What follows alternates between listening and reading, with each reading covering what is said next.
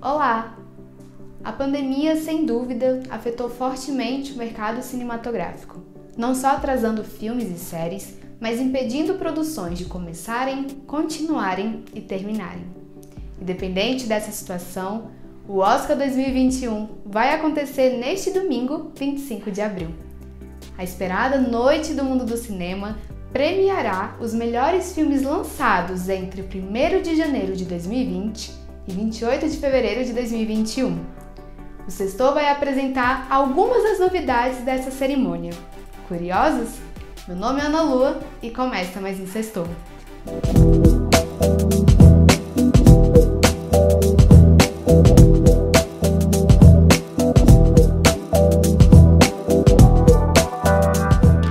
Cerimônia de premiação estava marcada para o dia 28 de fevereiro, mas foi adiada por causa da crise sanitária. E, com os cinemas fechados, a Academia de Artes e Ciências Cinematográficas de Hollywood passou a aceitar inscrições transmitidas apenas pela internet.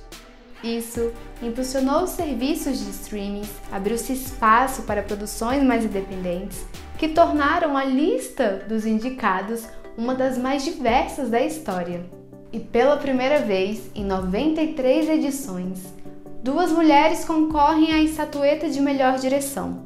A diretora chinesa Chloe Zhao, pelo filme Nomadland, e a diretora britânica Emerald Fennell, pelo filme Bela Vingança. E já o ator Chadwick Boseman, que faleceu ano passado, foi indicado na categoria de melhor ator no filme A Voz Suprema do Blues e é o primeiro ator não branco a receber uma indicação póstuma.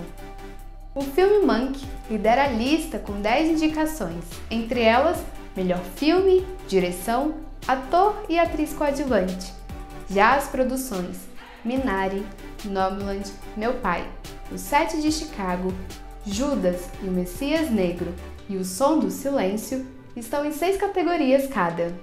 Também haverá um pré-Oscar, com a duração de 90 minutos, onde as músicas que fazem parte da categoria Melhor Canção será apresentada a jornada dos indicados e no final um pós-show, que fará um resumo da noite e mostrará os vencedores e suas estatuetas personalizadas. Para conhecimento, vou falar três categorias que provavelmente algumas pessoas ainda não sabiam melhor curta-metragem em live action, melhor documentário de curta-metragem e melhor design de produção. Ah, se você ainda não assistiu, corre que dá tempo. Muitos dos filmes estão nas plataformas de streams. Vou deixar o link com a lista dos indicados nos comentários. E enquanto esperamos a vacinação de todos, convido você a assistir esses filmes em casa e em segurança.